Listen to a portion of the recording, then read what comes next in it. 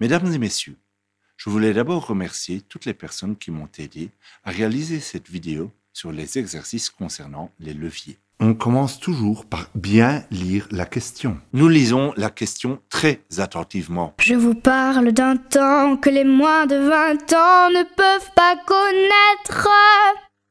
Une jeune fille en ce temps-là, 450 newtons était son poids. Elle est assise du côté gauche d'une balance à deux mètres du point d'appui. Un garçon dont la masse est de 40 kg est assis à la droite.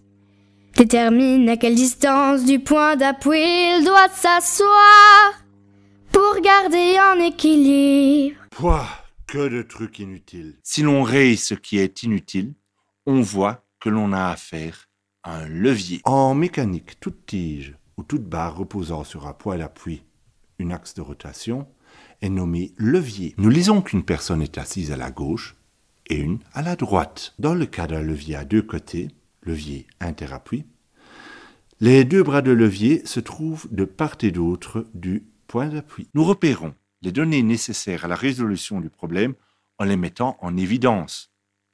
Il s'agit souvent de nombres avec une unité de mesure.